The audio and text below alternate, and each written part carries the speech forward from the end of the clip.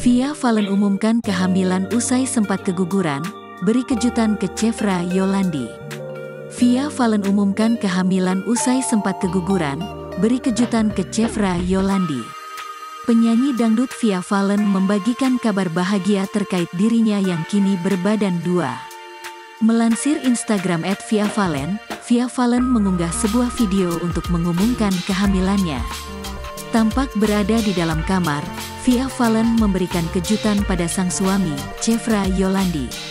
Perempuan 32 tahun itu sempat menunggu Chevra Yolandi di sofa yang ada di depan ruang tidurnya.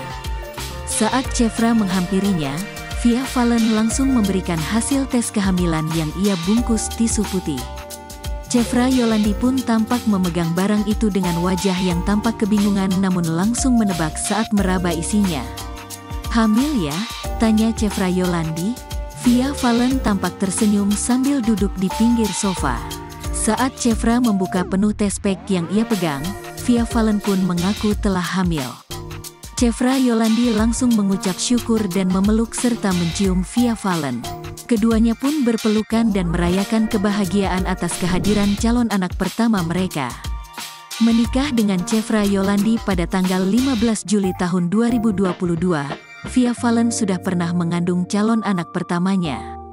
Namun pada Oktober tahun 2022, Via mengabarkan bahwa ia mengalami keguguran pada usia kandungan 8 minggu.